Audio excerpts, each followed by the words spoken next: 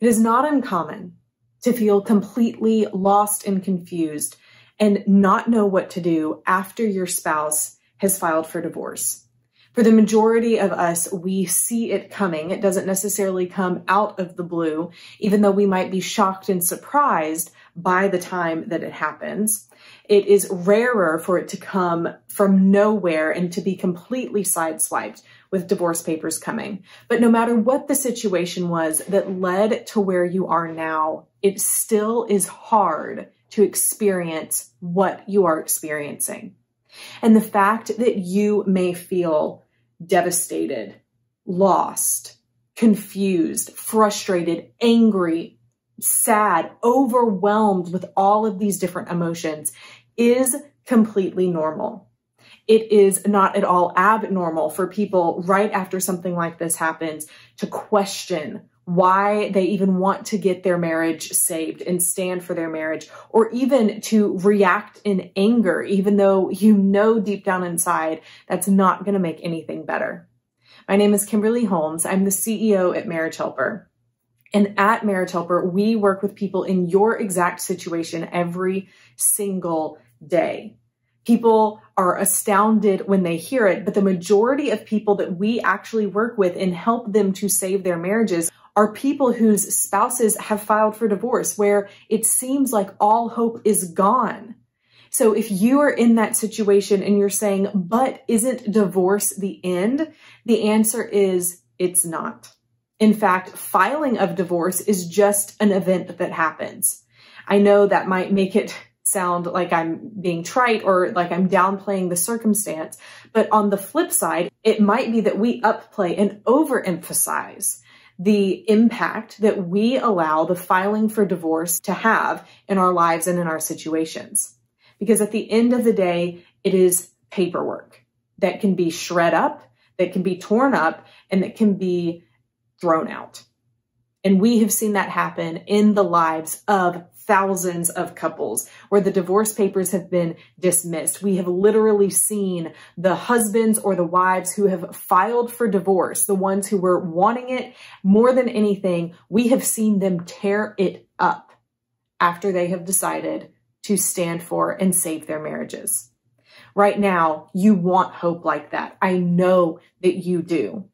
And in this video, I am going to share with you three things that you can focus on right now so that you won't lose hope and so that you can stay focused on what can happen for you and what you can do to save your marriage and save your own sanity during the season that you're in. First, be sure that you subscribe to this YouTube channel where you can join over a hundred thousand other people who are searching for and looking for answers to make their marriages better and stronger than they've ever been before. You are not alone in the situation that you're in. I can promise you that. Also, after you subscribe, be sure to comment below and tell me what are the emotions that you have felt after your spouse filed for divorce. Or maybe you are just expecting a divorce to be filed for, but maybe it hasn't happened yet. What are the fears that you have in that? Comment below and let us know so that we can have a better understanding of where you are, how you're feeling, and it will help us to create even more videos that will be centered on what you need and how we can help you through the time that you are going through right now. Or maybe you have a friend who is also going through this. Be sure to share this video with them as well. We would love to spread contagious hope on how marriages can be saved. The first thing to do after your spouse has filed for divorce is to allow yourself to feel all the feels. Allow yourself to be mad. Allow yourself to cry into an ice cream bucket for a week if you need to. Allow yourself the time and the space to grieve. I'm not suggesting that you stay there. I'm not suggesting that you react out of the emotions that you have. Keep them in the privacy of your home. Try not to take it out on your kids. Definitely don't take it out on your spouse. Try not to take it out on other people, but don't miss your opportunity to get these emotions out either. Don't act like you have to put up a, this wall, this perfect mask that you have to wear. Allow yourself to feel the emotions that you feel without judgment right now because it is hard. What you are going through is painful.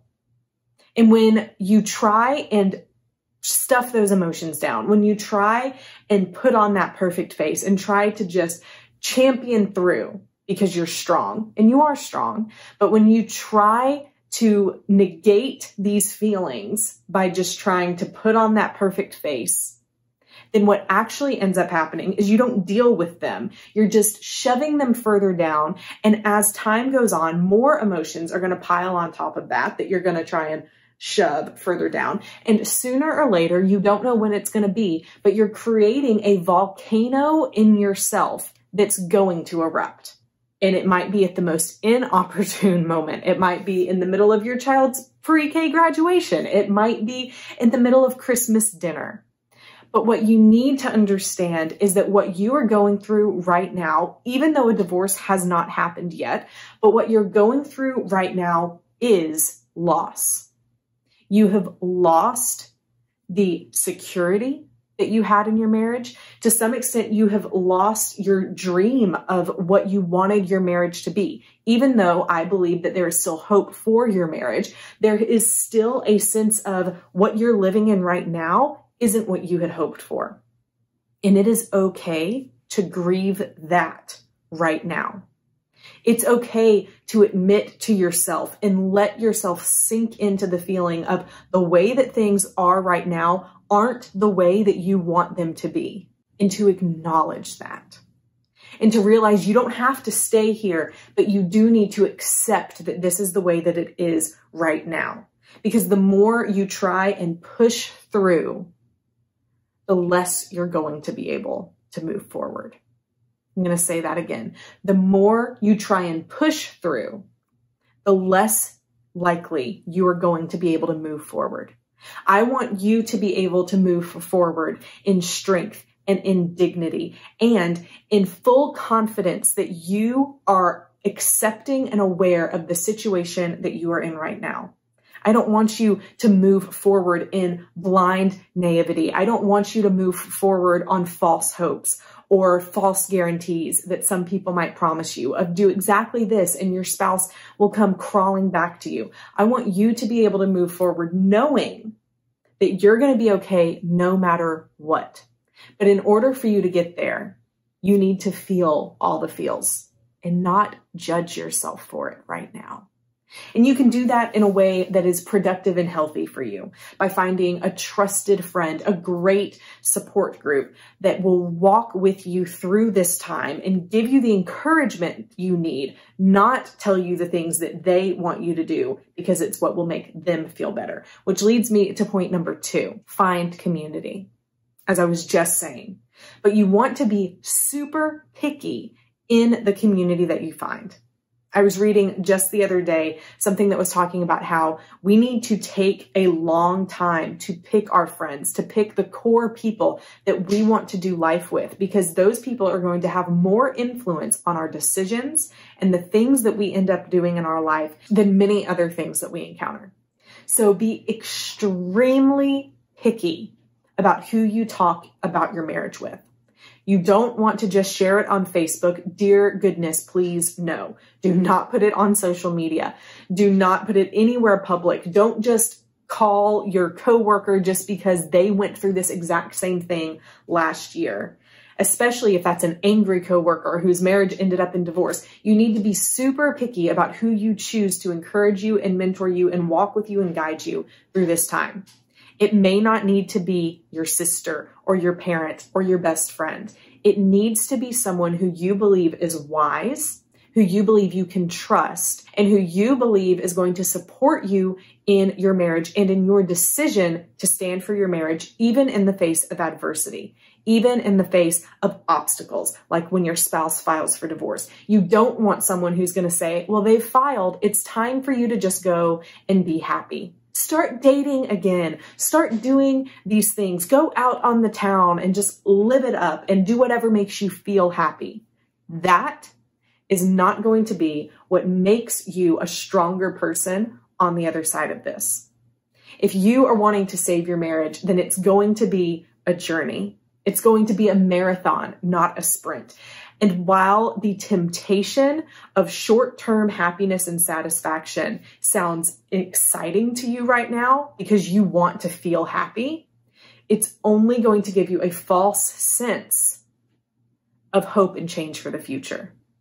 Because that night out, flirting with other people, going out on dates while you're still standing for your marriage or before a divorce has even happened or when you're really still in love with your spouse isn't turning you into the best person that you need to be.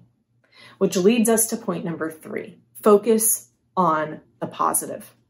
Focus on the positive in you first and foremost, because when your spouse files for divorce, it can be incredibly easy for you to start seeing every single thing wrong with you, your flaws, the things that you did wrong. And while you do need to be aware of those things and you need to work on changing those things, you need to realize the inward look is the only thing that you have control over. You might also be thinking about all of the ways that you want to change your spouse, all of the things they've done wrong, how you can't believe they're acting this way, or how can they be the one to file for divorce when they're the one who's been in the addiction or having the affair or being a complete jerk. I should have been the one to file, right? That may be what you're thinking. You can't control your spouse. And the more you try to, the worse off you're going to end up being. You can only control yourself in the good and in the bad. So see the bad. Don't, don't put on sunglasses to the faults and problems that you know you need to change within yourself. Be aware of those, but don't live there because you also need to see the positives of you, the good things you're doing, the fact that you're even watching this video, the fact that you are aware of what you need to change and you're willing to work on it is a positive. Celebrate that about you. Work on yourself. We call it the pies. It's the four areas of attraction physical, intellectual, emotional, and spiritual. And do everything you can to become the most attractive you can be in all four of those areas. If you want more help with that, be sure to check out my podcast that's all about the pies. It's called It Starts with Attraction. You can find it on iTunes, Google Play, Spotify, Pandora, Stitcher, pretty much anywhere there's a podcast, you will find mine. So be sure to go and subscribe to that. You can also go to piesuniversity.com, P-I-E-S university.com, sign up for my email list, sign up for the courses that I have over there, and really learn how to become the most attractive you can be. You can also come and follow me on Instagram to see how I am doing this in my own life. I would love to connect with you over there. You can follow me at Kimberly Beam, like a beam of light, Holmes, like Sherlock, over on Instagram. But the point here is to focus on the positive. We've talked about focusing on the positive about you, focusing on becoming the best that you can be in your pies. But you also need to focus on the positives in your relationship. And I know that's hard to do when you have divorce papers staring you in the face. But now more than ever, you need to remember the reasons that you are committed to standing for and saving this marriage and why you're in this for the long haul. Inside of the Save My Marriage course that we have at Marriage Helper, we have a whole section that talks just about that, defining your why and how you can create a statement that you go back to over and over and over over the next several weeks and months that will keep you committed, grounded, and focused into doing what you can to save your marriage. In our Save My Marriage course that we have, it teaches you everything you can do, even when your spouse has filed for divorce, even when they're not talking to you, even when people in your life have told you to give up, to move on, even if a counselor or pastor or therapist has told you that. We see that happen all of the time, and we believe that that can happen for you as well. But we have more than that for you at Marriage Helper. We have a smart contact toolkit that will teach you all of the ways that you can begin to change the way you and your spouse communicate right now even when your spouse isn't talking to you. We have an affair toolkit that you, if your marriage has been affected by an affair, can go through and understand why that has happened, what you can specifically do when an affair has happened, and how your marriage can still be saved, even if that has been the case. We also have marriage coaching as well as our marriage transforming workshops. Our marriage workshops are available online as well as in person when available. And so be sure that you reach out and contact us to get more information about how we can help you in those situations. You can do that by going to marriagehelper.com, finding out more information there, or you can always call our office and speak with a real person who cares about you and wants to connect you with what we do at Marriage Helper that will help you best. You can call us at 866 903 0990.